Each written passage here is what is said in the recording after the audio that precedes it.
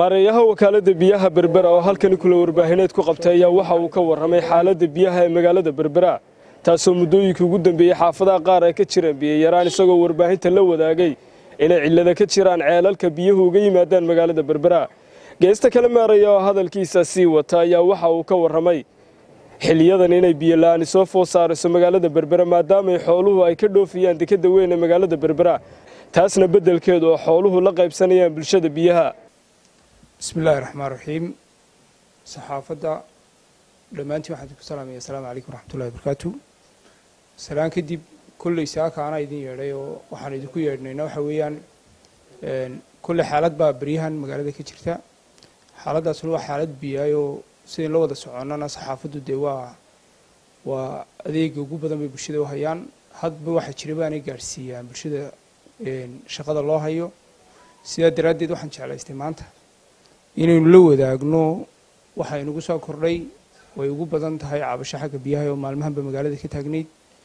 Taasuna waxaa kaliftay oo ugu weynaa waxa weeyaan waxyaabo badan oo aan jiri jirin oo xagaagan. Soo kordhay baa jira.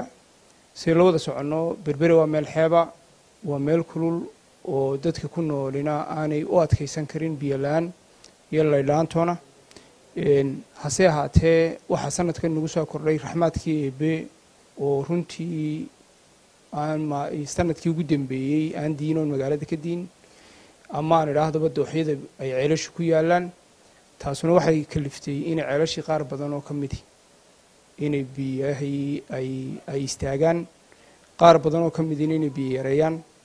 Annagii oo mar walba dadka la dareena oo mas'uuliyadda iyo adeegaasu muhiimaddu u leeyahy bulshada dareensan oo habeenii maalin adeegaas sidii uu bulshada u gaari lahaa ugu quruxda badnaan lahaa ugu filaan lahaa annagoo had iyo jeer ku dadaalaynaa haddana qadarka ilahay ba iska le wax ka weyni ma jiraan gacanta ilaahay. Taana waxay noqonaysaa uun markuu roobidoo inaynu baahida. Dhammaantiin aynu ka wada baxayno. Qodobka labaad ee inoo raaca waxa weeyaan xaalad horta werwero maanta taagni ma jirto. Laakiin wuxuunbaa jiro uun biyo yaraan berberigo afar sayd bay biyaha ka heli jirtay. Afarta sayd ee biyaha ka hesha waxa weeyaan dubaar oo rojinkii magaalada ahaan jirtay biyihii yaraa adkaa faradeero oo maynka ugu weyne kaamamka ugu weyne biyaha laga soo saaro oo toddoba ceel ku yaaleen saddex ka mida ceelashaas maanta cadow ma shaqeeyaan. Laba ka mid way istaageen midna wuu biyo yareeyo marmarka qaar ba la saaraa. Shan ka midun bay macnaheedu tahay inuu midi. Marmarna raacayo marmarna uu ka hadhayo systemka waxaa kaloo jiray kalgumare oo saddex ceeloo ay d b wel naga caawisay ayaa jiray. Sayidkaasu total wuu naga istaagay afartii shantii biloodee ugu dambeeyeyna inoomu shaqaynin. Laba ceeloo uu siday mashiinkii meesha wakhtigaa la dhigay. Iyo mid soolaro isagu maalintii u shaqayn jiray bamkiisuna herkiisu aada u yaryahay.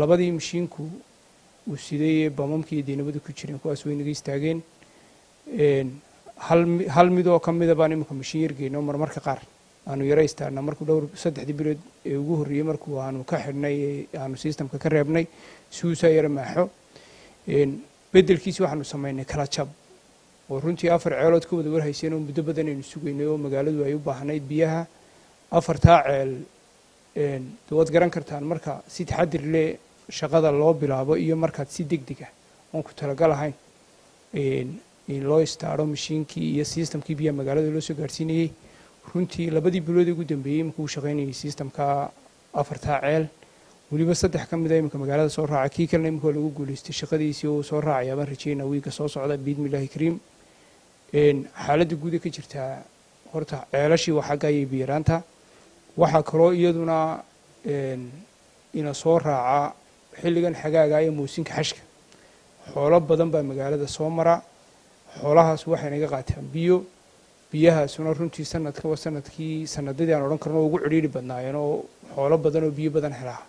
Ma jiraan hase ahaate hase ahaatee had iyo jeer haddana si kastoo lagaga maarmi karo waxaanu samaynay ceel kaloo halkan tuula barwaaqo ku yaalla. Oonu soo dhoweynay isaguna oo biyaha looga soo dhaaminayo kaana waxaanu ku dadaalay bal in haddii la waayo beddelkiisa ceelashii ay ku filaan waayeen gudaha beddelkiisana in booyadahaasuna magaalada loo soo dhoweeyo biyaha taasuna dee hase ahaatee culaysuunbay ayuunbay iyaduna soo kordhinaysaa markaa waxaan rajaynaynaa biidmillahi kariim labada wiiga soo socda ay xoolu socdaan. Culayskaasu inuu sii jiri doono oo ay qayb ka yihiin iyaguna culayskiina saaran. Hase ahaatee markuu culayskaa xooluhu ina dhaafo ee muusinka xashku wakhtigooda uu dhammaado labadaa wiig kadib waxaan rajaynayaa biidmillahi kariim. Inay wax waliba xaaladdu caadi ku soo noqon doonto waxaa kaloo inoo raacaa sidaad ka wada warhaysaan wakaaladda biyaha berbere waa institutionka keliya atee ku shaqeeya shidaal. Shidaalkii waxaad ka warhaysaan isaguna inuu shidaalkii qiimihiisii laba jeer oo uu laban laabmay qiimihiina laga siin jiray. Xamse axmed ciid wararka telefishka caalamiga codka bariga afrika magaala xebeedka berbera